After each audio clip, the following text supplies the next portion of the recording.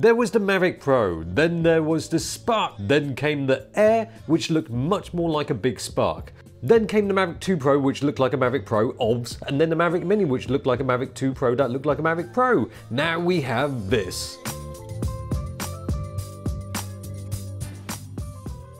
And it looks more like it's bigger bro than the original Air. It's like a smaller version of the Mavic Pro and on first glance it doesn't actually look much different in size to the Pro and the original Air looks smaller than this but actually it's not much bigger than the OG Air and it is noticeably smaller than the Pro.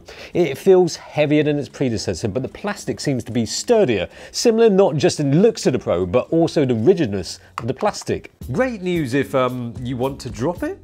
But it feels solid like the Pro, not like the Mini which is proper lightweight. That does mean it comes in a bit beefier than the original Air, but it does pack some features that will give all of those a run for its money. But before that, it comes with this. First of all, this is new. It looks similar to the fancy smart controller without the smartness. It doesn't have the screen here. Similar shape though, you just have to add the smart bit yourself. One thing is that it will take up more space in your bag because it's almost twice the size now, but I really hated using those foldy outy phone holder things before. This is a pretty neat solution. Check this out. Yes, it's a phone holder that works a bit like the handle on your suitcase, which doesn't make it sound cool, but it is.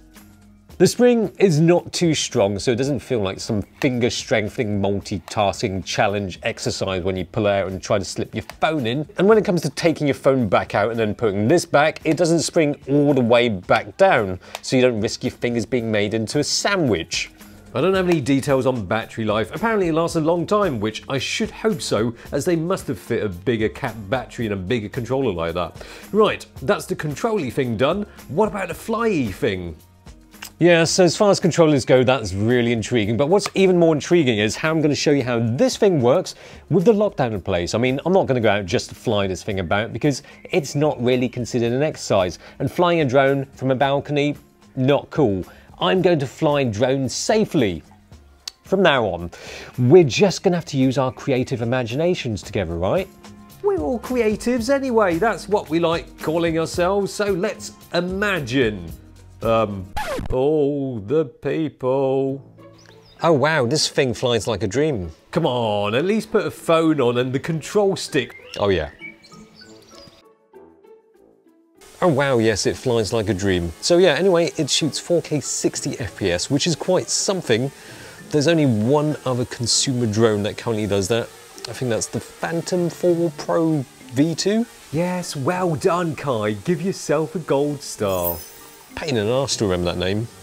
Quite an impressive thing to gloat about, 4K 60p, especially as you can rub that in the faces of Mavic 2 Pro owners and current Air owners that max out at 4K 30.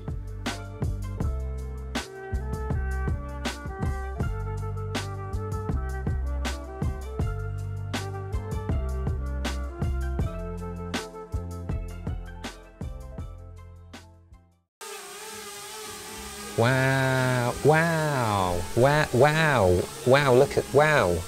Just wow. But even more wow is that if you're happy to drop it down to 1080, you can take some even slower motion for some smooth balls jumping up and down in landscapes, action, or volcanic eruptions, kind of, in 120 or 240 FPS. Of course, the Mavic 2 Pro still has a big advantage, and that's the 1 inch sensor, but the sensor within the Mavic Air 2 is slightly bigger than that of the original Air. But there are some things that the Air 2 does better than all the others, such as the flight time of 34 minutes. Lift off, here we go.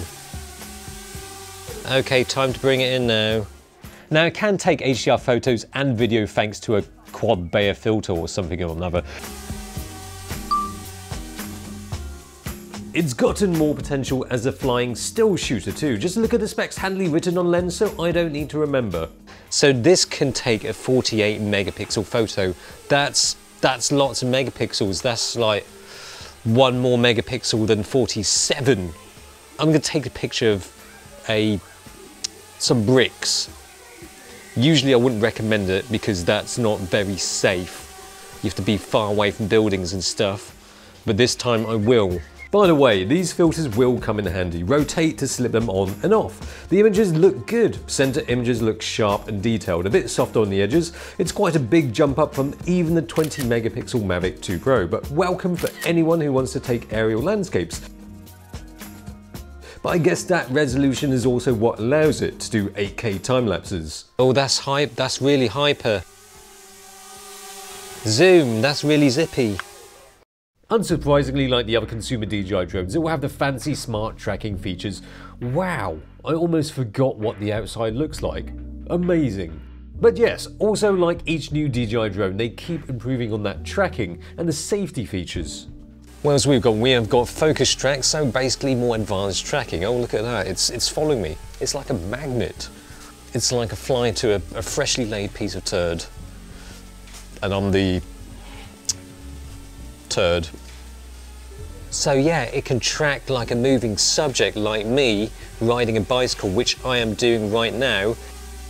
Yeah, it's tough work riding a bike while flying a drone. Something that I wouldn't usually recommend. Imagination, remember? But yeah, it has obstacle sensing on the front, bottom, and back, like the Air, but not sideways like the Mavic 2. But has APAS 3.0 versus 2.0 of the Mavic 2 for better tracking of subjects.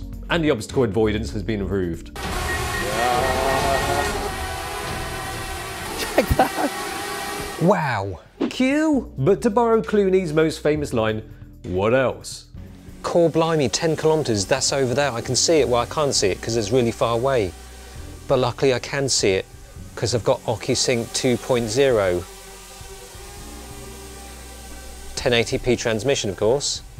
The Mavic Air 2 is like a lot of DJI drone releases, a mix of things that will make flying easier, safer, etc., with bits that will enhance the shooting process. The 4K 60, the 8K hyperlapse, the 48 megapixel stills all add extra oomph to the aerial arsenal, giving quite a bit more for less weight and less money.